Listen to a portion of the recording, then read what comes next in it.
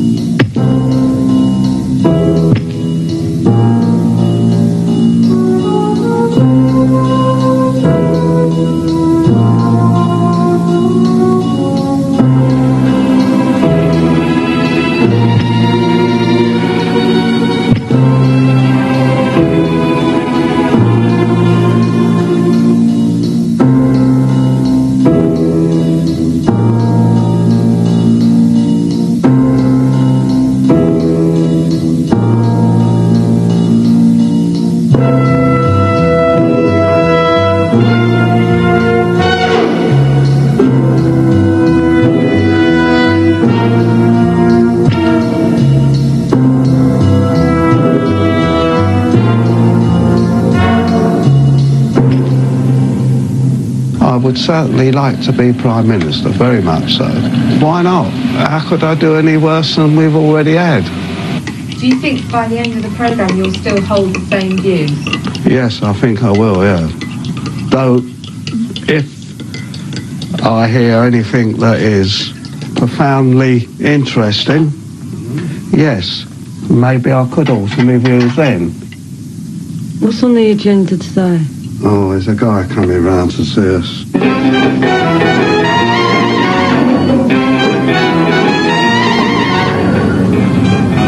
It's Patrick Nairne. Oh, come on. Hello. Good morning. What should I call you? Sir Patrick? Patrick. I think you all right? And what should I call you? Well, you can call me Frank or Frankie or even Mad Frank. Most of my life has been in Whitehall, frankly. And I had some experience of being a kind of Sir Humphrey and heard about what you would do if you really were Prime Minister. That I felt, you know, I might have some thoughts or some advice on the kind of problems that you might confront. Immigration. I think uh, what my girlfriend, Marilyn, said, if you was Prime Minister, Frank, that's what you should do. I said, what, love? Says, well, people who come to this country and want to stay here, they should pay for that privilege. What about the Commonwealth people? There are so many people who would be the very people you'd want to vote for, who are wanting to bring their grandparents over. I mean, you'd be labelled unfairly as a racist, as a man who's putting up shutters to people who need to be treated fairly. Wouldn't that be rather difficult? I'd have to be called a racist, and Yeah. I'd stick to that. But I wouldn't be a racist Yeah. because um, having all the time I've spent in prison and mixed with people of Yeah. all race, and religions, and everything, and got on well with everyone. You're going to be in serious trouble as a member of the European Union if you try and shut the doors of people coming from Europe. I've listened to you and I've took your point, but I would have to tell you this, Patrick. I have to put you down as a typical civil servant, a typical yes man for the government. But I'd be a tough prime minister, and I'd sling your views right out the window, and I'd stick to my plans. We're only a small island, and the time has come to say no to our European partners, to everyone. No. And I'd stick to that. Frankie, my duty as a civil servant is to tell you the facts as they are. You've also got ideas about pensioners. What's, Yes. your, what's your thoughts there? they would be allowed everything for free. Everything. Phones, travel, our and earth would be funless. I would put an extra penny on a 25p stamp.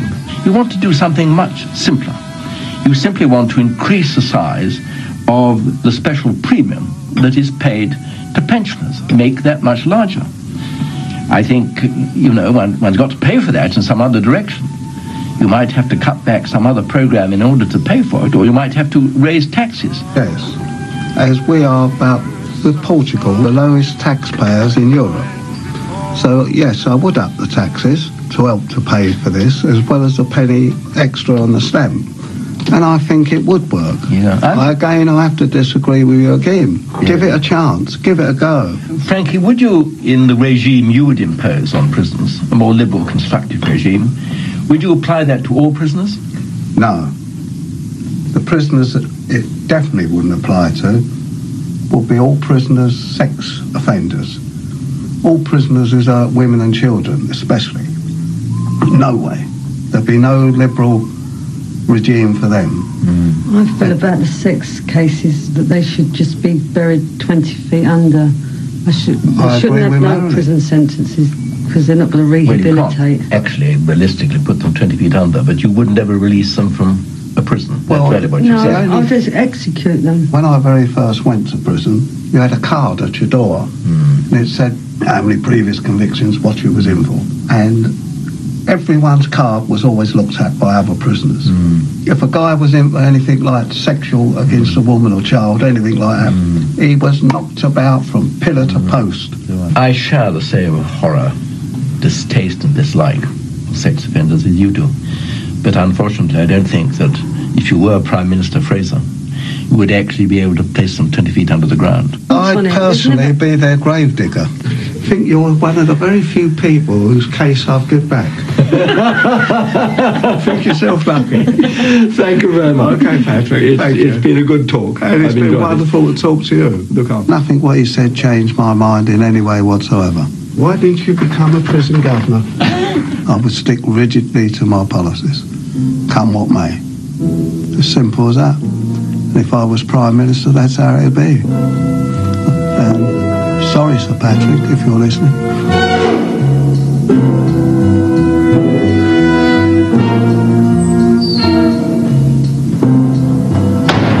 My main objective in prison was to keep alive because I was in so much trouble with the prison authorities and prison warders. So every day was a bonus if I finished it.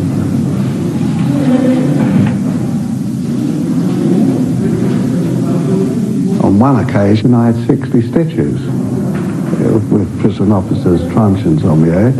And a number of times they broke me uh, nose, but that's how it goes. Right. I'm Ron Adams. I'm from uh, the POA National Executive. If I was Prime Minister, one of the first things I would do would be to break the power of the POA, the Prison Officers Association. Yeah. Because my experience of prison, which is very vast, goes way back 55, More, 56 probably years. more than mine. 56 years. Jesus. Yeah. What year was that? 1939 onwards. And every reform that's tried to come out in all them 56 years, the Prison Officers Association has done their very best to curtail it or break that reform completely. But in the 12 years I've been in, I've seen the service change. And I know that the people that we're getting in this job now, and that the good people, the I've been very, people, very happy. I'm very pleased to be able to say, yeah, the POA doing a good job, but they're not. They Uh, never have and uh, they never yeah. will. Get- Get someone like me and they want to kill me. let's keep they it, let's, let's keep sorry, it reasonable. Let's keep it I'd reasonable. love to be reasonable. I've prisoners uh, with reputations like your own who get taken out the, the SEG unit and, and people start to work with them and talk to them and Well, find out what's wrong with them. me well, it didn't because the prison service has changed. It's only six, seven years ago I Well, out. uh, Ain't there's, there's been ago. there's been drastic changes, I can assure you, over the past Plus, couple I of visit people who are still in prison, Well, and that, and they're still going through tough times. uh, well, Very tough. I, I'd argue with you, with you that there are people who go through tough times, but uh, but they mainly bring it on themselves. They should do away with Category A prisoners. When it first came out in January 67, there was oh, a, need for it then, because there were no internal fences in any prison. I was one of the very first put on it with amongst three or four hundred other prisoners. But now, all Category A prisons are literally impossible to escape. They only have Cat A to POA because it gives them more overtime, more danger money. Why don't the POA speak out and say, look, sir, We don't need it now. The Cat A prisons are secure. No, no, we, we, we still do need them though, Frankie. I mean. Frankie, if I thought we were a load of tossers, I'd tell you I'm not going to have the job for me. Can have it. But I think we're doing something worthwhile. I think we've got a chance to uh, to help people, to affect people's lives to the better. And, and certainly, I believe this, we've got the officers who can do it. But again, you've got to say that. The POA is a professional organisation. You tell Now, me. Okay, Mary? Normally I'm getting these out of jeweller's shop windows. Well, used to anyway, put it that way. They look gorgeous though. We need a very strong Prime Minister, one who will stand up. And unfortunately, John Major, though he comes over as a nice man, but he also seems, unfortunately, to be a weak man. And the quicker they put Mad Frankie there, the better. We'll go places.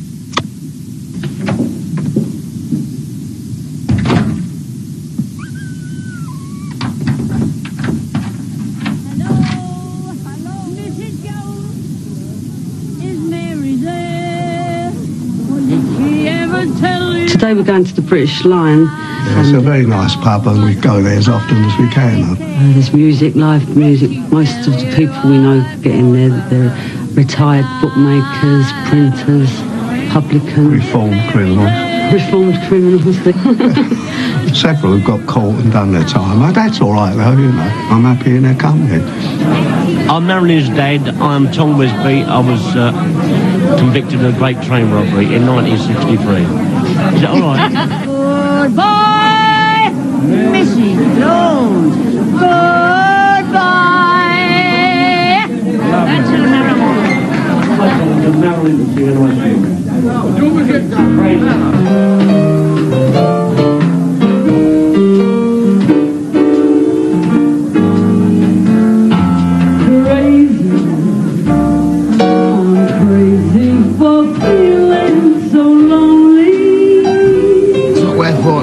Because nothing happens. Well, that's the, that's what Frank said, which is a very important thing. I've thing. never voted in my life. They're, oh, they're all Who do, who, do- who do I vote for? They'll show you down the Yeah, of course you do. Yes. It's the system, isn't it? Well, that is understandable. Oh, but be up to the Prime Minister, make sure that everybody gets a fair crack of the whip. We've got to get them to be proud to be British.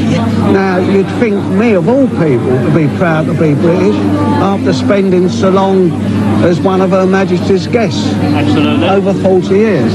But I am proud to be British. The only people in prisons I will worry about are the sex cases. Absolutely. Anyone tampered with women and children, I'd be their personal dentist.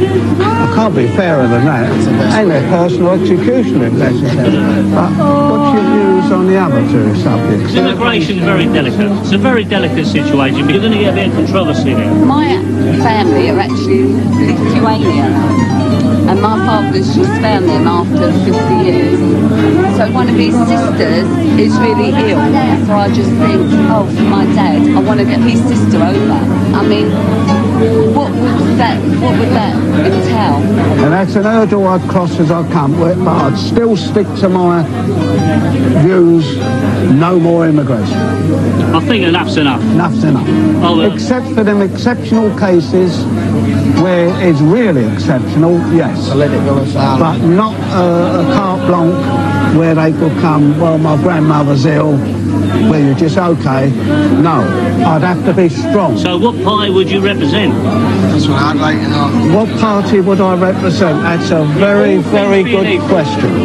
Frankie Fraser's party.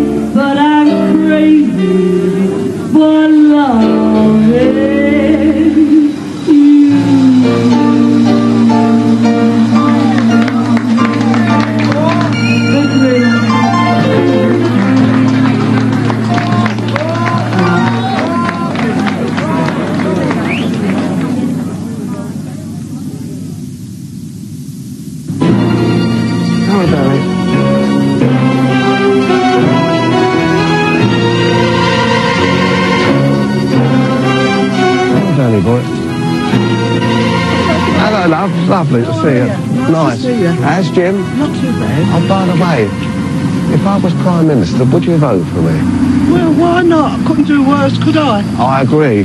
Smashing. Thanks, love. Ta.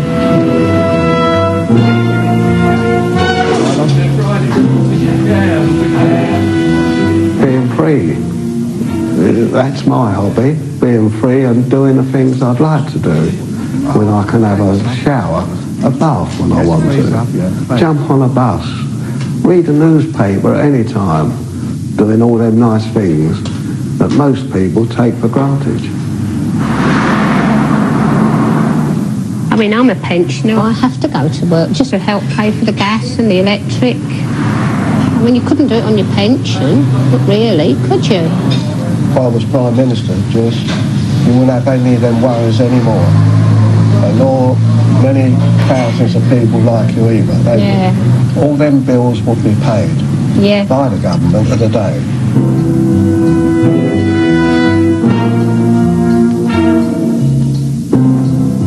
I like uh, talking to people, whether it's a road sweeper, an old age pensioner. I'm happy to talk to them. Good morning, Frankie. Morning. How's the dog? Lovely, thanks, Peter. How are you? Great. Yeah. Listen, What? you know this thing they're doing about me if I was Prime Minister? Yeah. I don't know if you know what I would like to give the pensioners a much better deal than Right. they get. But by doing that, to help fund it, that means taxes Yeah. would have to go up. You mean my taxes? Unfortunately, yes. You wouldn't get a penny out of me, Frank. Oh, Peter, you can't mean that. You wouldn't get a penny out of me. It's got to be done, Peter. I must give the pensioners a better deal. Okay. The day you're Prime Minister, Frankie, will be the day I will give money for pensioners. Oh, thanks very much, Peter. It's a pleasure. You're, Nice to see you again, Keep a good thanks. work. See you Oh, soon. Peter. Bye. They don't like doing it, Frank. No. You know, people with lots of money don't like paying out Well, they'd taxes. have to, wouldn't they? Yeah, they'd have to. I think that's a good thing. Means like you'll have that. to uh, sell a few more flowers to make sure the pensioners get a better deal. Well, what I'm going to be very strict on is immigration. Have we got to sort of curtail it? No, Be a bit more well, strict no, but the, the way the Tories have made it over the last however many years they've been in, it's got harder and harder. So it's it's not easy to get into the country now. You've got to have refugee status. So it's not anyone that can just come in. Though. Well, so, I, I accept that. But so it's, it's, I'd it's only worthy causes that are coming in. Well, they'd only be worthy. They'd, be, they'd have to be even more worthy. And with Yeah, it, and yeah, with yeah. any any system, there's going to be abuses, but the majority of people that are coming in now have got a right to come here because they're refugees All right. and they're That's okay, Gary. I accept that. Do you know that there are more people leaving the country than there are coming in? Well, Statistically, there are more people leaving this if country. that's true, that's better still. But nevertheless, I'll still stick to my guns. Do you think you'd vote for Frankie Fraser if he was running to be Prime Minister? no, I'm afraid not on just purely because of the immigration. Yeah. I, I don't. Afraid not. I go along with that. Uh, that's your right. Yeah. Your voter's Yeah. right. I accept that. Yeah. And um, I'll just uh, find two more voters.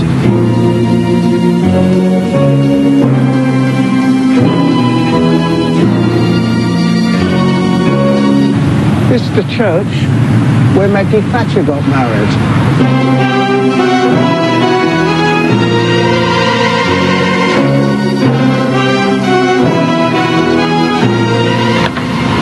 Oh, couple of cool, lovely, thanks. Come on, come on in. I'm going to be Prime Minister, or if I was Prime Minister. What a thought. But yes, well, these are some of my policies.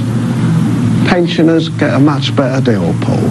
Trouble with that is taxes would go up Yeah. to fund it. I'd support you in that, really. Right, the other one is that immigration should have to be curtailed, that we'll fall right up. Mm-hmm. We're not like France, Germany, Belgium, where they got borders.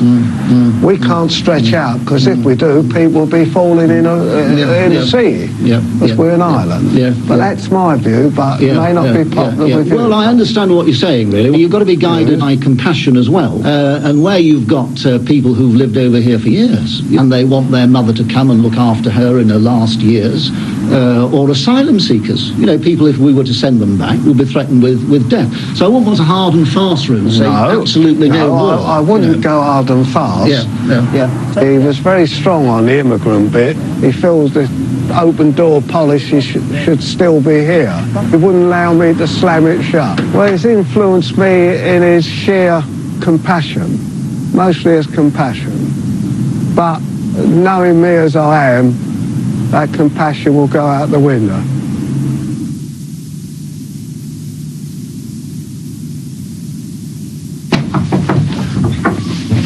Daddy, please, Daddy. Yeah.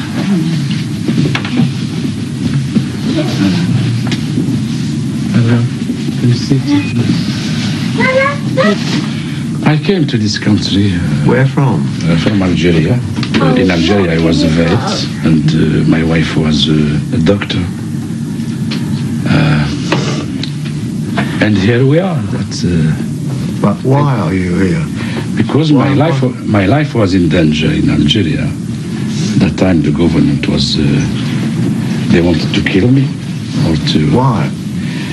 Because I was against the corruption in Algeria, I was fighting for the for the poor people in Algeria, and I denounced some the behavior of the government in the newspaper in Algeria, and they took me in prison one month, and then uh, after that they they sent me to psychiatric hospital. That just proving to people that I was a sick, mad or something. And uh, when I came here, uh, it's it's like nightmare. Nobody wants to leave his own country. We miss uh, a lot in Algeria. I miss my friends, the place where I was born. Europe now, they want to close Europe. Uh, uh, to go, uh, uh, Europe will be like a castle, and the rest of the world is the garden. And they can go wherever they like, but wh- why not us? If we was to let everybody in this country who come, you are free. It's we your would- country. We would be suffocated. Do you think that people, when you colonized people everywhere in the world, do you think that you had an authorization to do that? We're talking about 200 No, years I am- ago. I am- but when- Until I inquired into your background, yeah. established everything about you. Until I had everything about you, you would be down to be kicked out. Yes, yes. Everything but you will, ha- checked will out. ha- you will have that in your conscience. If you oh, have a conscience, conscience. you will have it in your conscience. Good conscience. conscience. I'd like you to say, you British are great. You English are terrific. Look how you've looked after me. You're smashing. You've Can never I tell said you something? that. Can I You've never tell you said something? that. Asylum seeker are regarded as second-class citizens. They don't have a right to work in this country. Well, I listened to him, but he, to me, wasn't convincing. Well, I believe I'd give him the benefit of the doubt. Frank, what would you say to people who might say, what a hard-hearted man? I'll stick by being that hard-hearted man then, because I feel what I'm doing is right for the good of this country, and I'm proud to be British to do that. Coming up. Good night. Good night.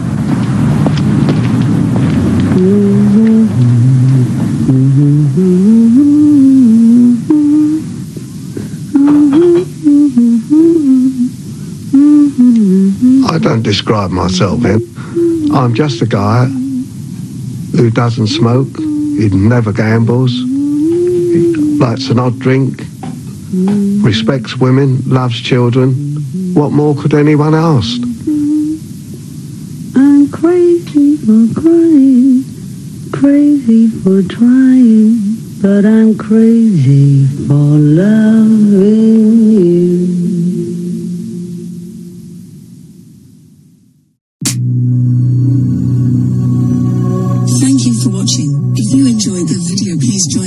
Facebook group. It's called Krays Crime Lords of London. We're a friendly, moderated group with over 1,000 Kray and other celebrated gangster videos available for view. There's also thousands of images in the photos sections. The link for the group is in the YouTube description section. I hope we see you there soon.